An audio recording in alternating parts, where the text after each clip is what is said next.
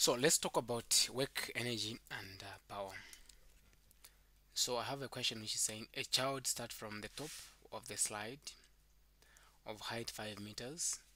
If he reaches the bottom with a speed of 8 meters per second, what percentage of his energy at the top of the slide has been lost as a result of friction? I read the question again. A child starts from the top of a slide of height 5 meters. If he reaches the bottom with a speed of 8 meters per second, what percentage of his energy at the top of the slide has been lost as a result of friction? Now, we need first to understand this is an incline plane. We can see that the question is saying a child starts from the top of a slide, meaning it is an incline. We are talking about the incline here. We have been told that this child is here. This child is riding that direction. Okay, the height we have been told that is 5 meters, like that. The velocity meaning the velocity from the top here the velocity at this point I'll call this point as point A that point to point B. So the velocity at point A which is going to be is going to be zero. The initial velocity is zero. But the velocity at B is the one we have been told that is 8 meters per second. Now I can clearly see that I want to find the percentage of the energy which was being lost due to friction. How can I find that I need first to find the initial mechanical energy and the final mechanical energy.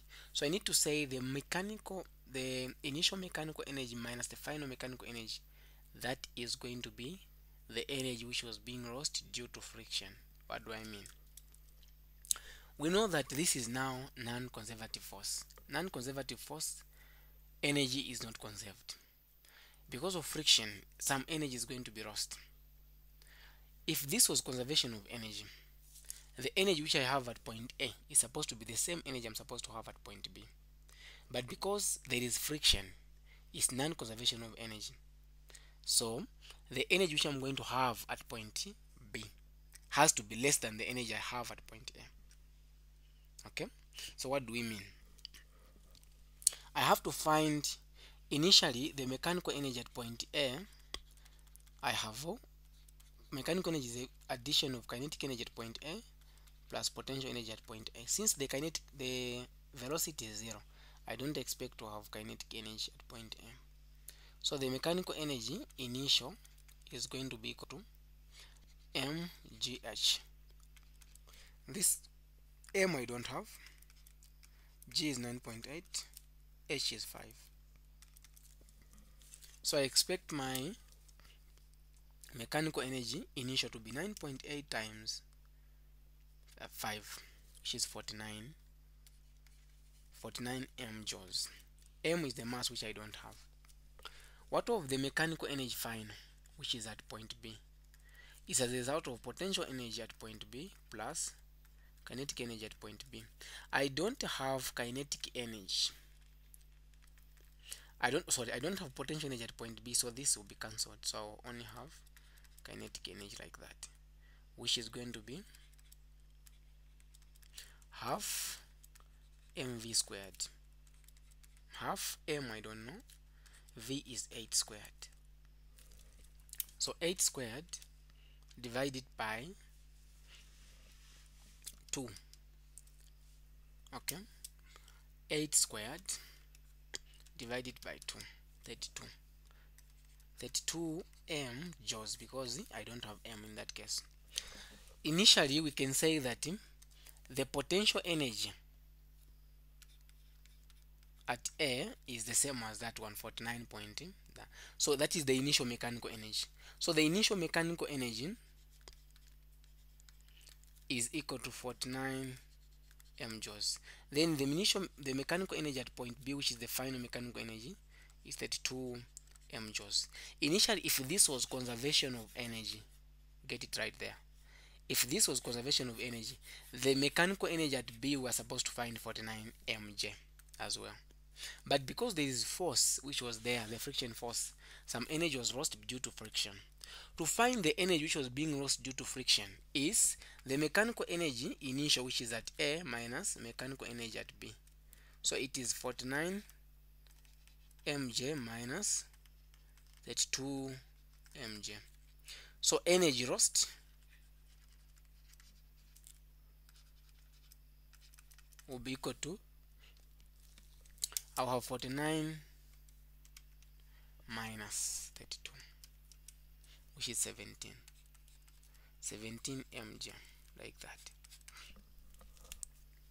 now to find we know that the total energy which we have it is the initial mechanical energy which is 49 uh, mj the question is what percentage? We have found the energy which was being lost which is 17 to find the percentage so you say the percentage of the energy which was being lost I'll put it here percentage of energy lost is equal to the energy which was being lost so I'll say energy lost I divide it by the total energy which is the mechanical energy at point A times 100 so if I continue from here I'll say 17 mj divided by 49 mj times 100 percent. So since I don't have m m and m can go j and j can go so I'll have 17 divided by 49 the answer I'm getting times 100 so I'm getting the answer to be 34.3 34.69 which is 34.7 percent.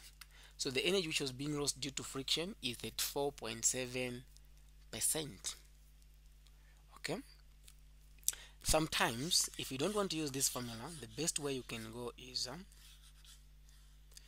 after finding I need to find what we call I'm going to use the the, the formula for non-conservation of energy. Non-conservation of energy the formula is the mechanical energy at point A will be equal to the mechanical energy at point B plus the work done by friction so the work done by friction is the one I want to find. So I'll say mechanical energy at point A. At point A the only energy I have is potential energy. At point B the only energy I have is kinetic energy. So I'll say this is going to be at A then that is at B. Plus the work done the work done by friction. The reason why this formula is plus the work done by friction. Because if I add the work done by friction plus the final mechanical energy it's going to give me the initial mechanical energy. So this is m gh is equal to half m v squared plus work done by friction. Now I can plug in the values. So I'll have m g is 9.8 h is 5 half m I don't know v is uh, 8 squared like that plus work done by friction. This is going to give me 49 49 m. This will be 32 m plus work done by friction. Shift this to the other side to be 49 m minus 32 m which will be equal to the work done by friction so if I do 49 minus 32 17 so I'll have 17 m but the form the SI units are joules so the work done by friction is 17 m joules like that. Then we know that the total is supposed to be the mechanical energy. So I'll say the initial mechanical energy I'll say the percentage will be equal to the energy which was being lost is the work done by friction so I'll say the work done by friction divided by the mechanical energy initial at point A times 100 percent so I'll have this is 17 mg. the mechanical energy is the potential energy which we found that it was 49 mg. 49 mg times 100 percent. If I do the math I'll get 34.69 which is 34.7 percent. So that is it for this question